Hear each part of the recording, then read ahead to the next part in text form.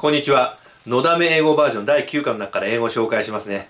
えっ、ー、と、169ページです。Your daughter's in critical condition. えっ、と、お嬢さんの危機なんでって千秋が、えっ、ー、と、のだめのお父さんに説明しています。この critical っていうのは、えっ、と、際どいとか危ない、重要なっていう形容詞です。